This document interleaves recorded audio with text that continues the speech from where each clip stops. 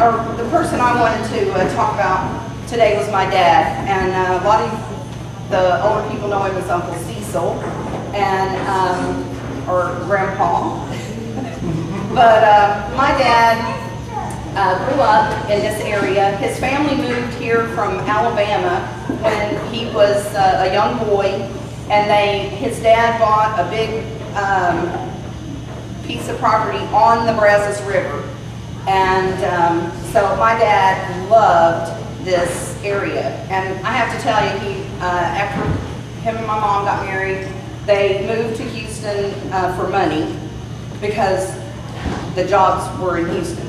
So I grew up in the city, and when we came up here, I just looked at this place like, you know, I like the family, but everything else, it was hot, and there were sticker burrs everywhere, and I could not for the life of me imagine why my dad wanted, was just always talking with such affection for this country up here. He loved the farmland.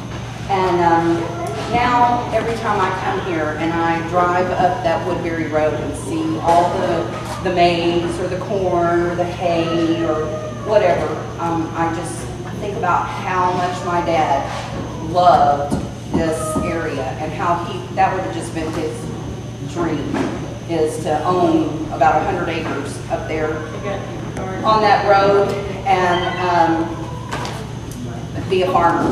So my dad worked as a pipe fitter for uh, 50 years in uh, Houston, and then he retired. And uh, his uh, idea of retirement was to move to Whitney and become a peanut farmer.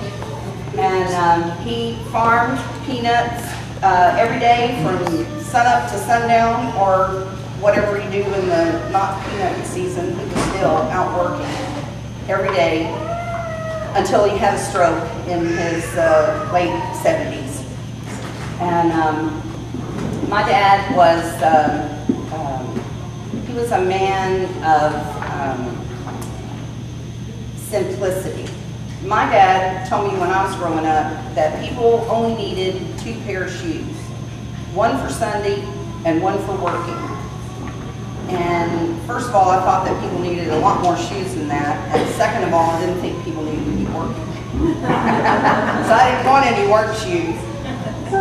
But uh, my dad was a very hard worker, and um, he did instill that in me. He um, probably thought I was a lost cause because I was the third born of uh, three girls, and um, there was nine years difference between uh, me and my next sister, and I was definitely the spoiled baby.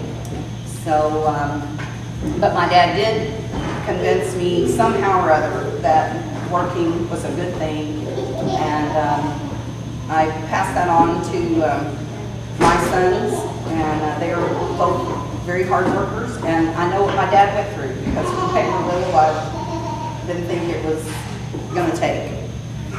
But um, anyway, uh, I just wanted to share about my dad and um, this the area he grew up in. And um, my mom was a Conger, my dad a Patterson, and um, they um, they both grew up in this area. And my mom actually went to school in this building. Uh, was a one-room school or two-room school, and um, Geneva also went to school here, and uh, Sam's mom, Aunt Mary, um, went to school many years ago.